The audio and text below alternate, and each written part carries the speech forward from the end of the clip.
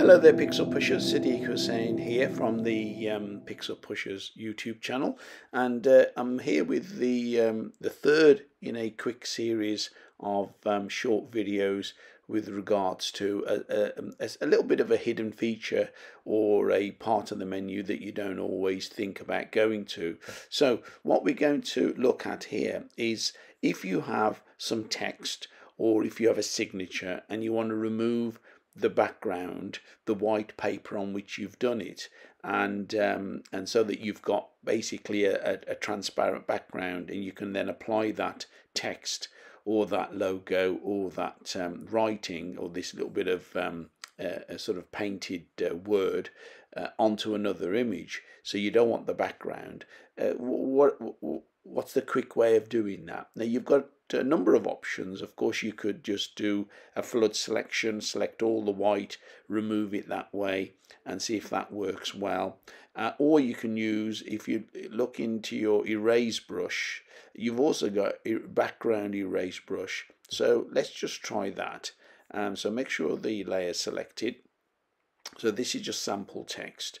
And if I use the erase background brush, you can see that it is in fact doing a good job.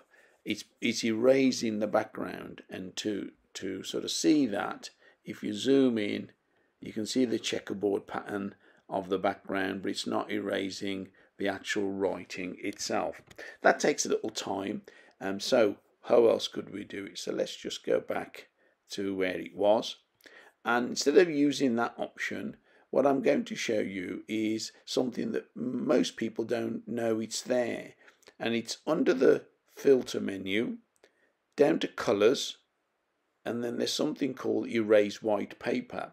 And that does exactly as what it says on the tin. So if I if I if I select that, there you go, bang, all the white pixels have gone, the white paper, if you like, has been removed. So now what we've got, if I just uh, click on the move tool, um, is just the wording, just the text.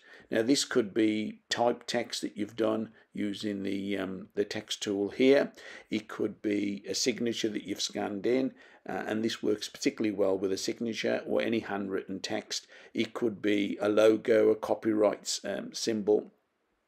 It could be just uh, words that you've got off the stock photography, as as I have here, or it could be a painting or something that you've um, sketched onto white paper. And if you want to remove that white background, that is a quick way of doing it. And how would you apply that? So if I just do a copy of that um, uh, selection and I open up another image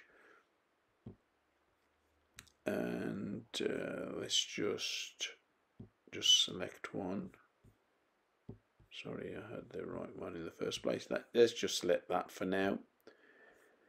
And on here um, we want to apply that. I've already copied it so I'll just do a paste and there we go. Copy and paste using the keyboard shortcuts. Uh, and of course I can resize it I can flip it I can move it about.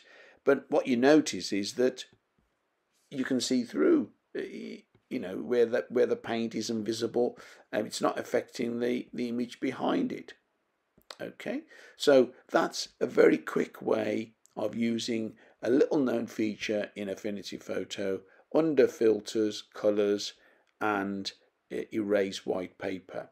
As i said it works particularly well with anything that you've written on a plain piece of paper and you've scanned it in or you've photographed it and you want to isolate that written word um, from from the paper easily, particularly a signature. And I've done it with signatures so often, and it is so so useful, especially in this day and age when we're required to sign documents electronically, sign them digitally, uh, with rather than just written text, but with with your own authentic signature uh, that um, that is yours uh, but you can just resize it and put it wherever you want. Of course, you can then create a brush from that as we've done before. And again, I'll put a link in the description and also in the at the end of the video if you want to look at creating a brush from a, particular text. That's easily done, uh, but you but we'll you can look at that video separately.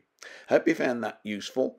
And uh, as before, please give us a like and uh, subscribe if you haven't already done so. It doesn't cost anything, doesn't take very long at all, but it what it enables me to uh, do is to get the message out about Affinity Photo and its many features to as many people as possible around the world. And we are increasing our subscription um, level already. It's gone over the 300 mark, and I only started just before Christmas.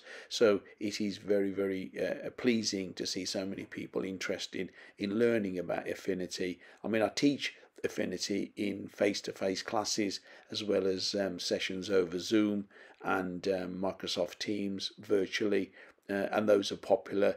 But of course um, these videos uh, add to that so that the students can dip into them and everybody and anybody can um, can view them add comments and any suggestions for future videos I'd welcome that because I want to create content that people want to see, that people will find useful, whether it's the desktop version of Affinity or indeed the iPad version, which is also a very powerful uh, app in its own right.